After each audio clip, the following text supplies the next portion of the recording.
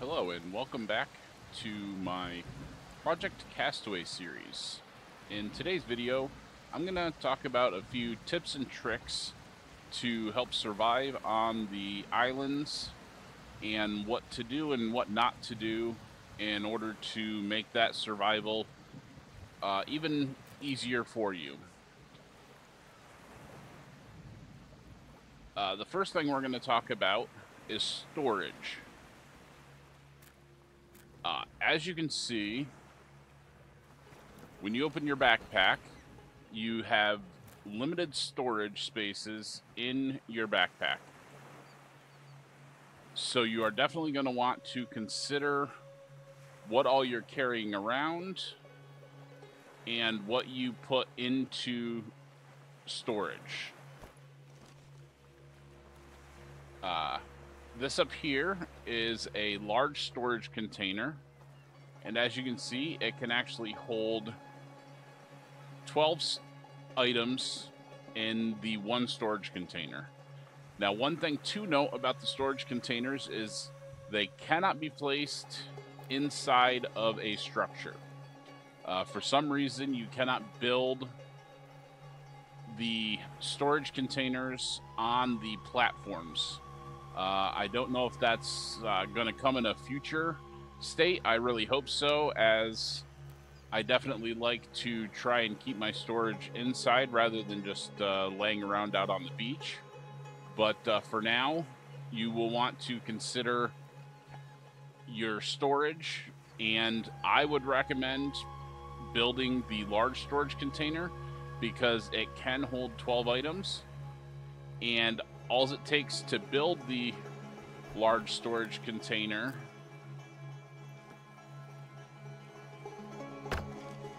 is six logs. So that's two to three palm trees is all that will take to build the storage, which will allow you to carry a whole lot more stuff and store stuff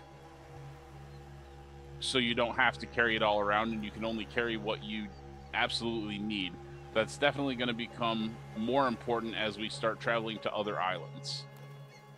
Now, let's talk about the most important resource that I have found so far that you need to manage, and that is your rope. In order to cut down trees and other things, you need an axe. And in order to build an axe, you need a rope. So, the Spinning wheel is definitely something you're going to want to build very early on in the game. It's very easy to build. And then you, while you're out and about in the woods, look for the yucca plant, which can be harvested with either an axe or it can actually be harvested with a small uh, stone knife, which will give you the yucca leaves which we have some right here, and you use each one of these yucca leaves will give you one rope.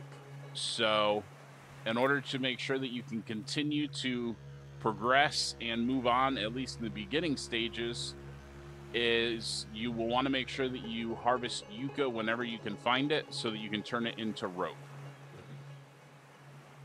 Obviously, you're also going to want to maintain your water and your food levels the coconut that you get from chopping down the palm trees gives you both food and water, and it actually gives you protein, which is great for keeping up your protein levels. And then you will want to look for the banana trees. There are also some other harvest harvestable items around such as the ginger plant. And then, at least on my island here, up here by the cave entrance, there are also some uh, potato plants, which you will be able to harvest and then plant in planters. So, coconuts, bananas, you can actually survive without uh, harvesting a single animal, at least in the early stages of the game. If you do want to harvest an animal, uh, I would recommend going for the crabs. They are very plentiful around on the islands, and they uh, usually drop between one and two uh, crab legs, and then you also have the crab body. I also recommend when you build your campfire, and you're going to want to build a campfire, not just a regular fire.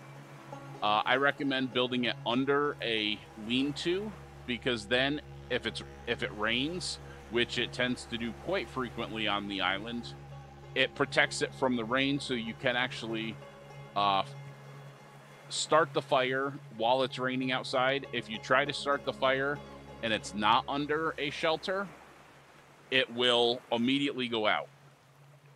So definitely build your uh, campfire underneath a lean-to to protect it. The next thing that you will want to build is a rain collector, which is quite easy to build.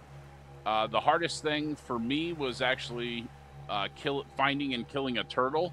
They are very uh, tough animals, which, as you would expect, but this allows you to, as it rains, your uh, water collector actually just continually collects water, and all you have to do is come up to it and you can drink it, and it will immediately go into your water. One other thing to note is you can only carry three items at a time. The uh, three tools, I should say, at a time. So you'll want to make sure that you manage what tools you are carrying. Uh, currently, as you can see, I have a wooden spear, I have the stone hammer, and I have the stone axe. Uh, let's actually go inside and I will drop my stone hammer because the stone hammer is used for building and uh, actually just added in the release 0.0.32 i was reading the patch notes and you cannot you now can use the stone hammer to destroy a item and you will get i believe it's 50% of the materials back for from the uh, item. So let's go ahead and drop our stone hammer down onto the ground. You can see I have a stone pickaxe here, and then out on the beach here, I actually have my stone knife, which I'm going to pick up. So as, as a quick recap, uh, rope is very important, so make sure you're always on the lookout for yucca. Uh, food and water obviously are extremely important as they are in any survival game. Uh, the most uh, prolific way to get food and water is by chopping down uh, palm trees and eating coconut or harvesting the many crabs around. And always make sure that you are building your campfires underneath a lean-to. That way it will protect it from the elements and you can warm up when you get wet or cook your food that you need to cook at any time of day, no matter what the weather is. I uh, hope you enjoyed this uh, tips and tricks video. Um, just thought I would uh, throw this out here uh, early stages just to get you on your way. Uh, I will be cre- making some more uh, advanced tips and tricks as I progress further into the game. But for now, this will definitely help you get started in the game. And I look forward to seeing you on the next one.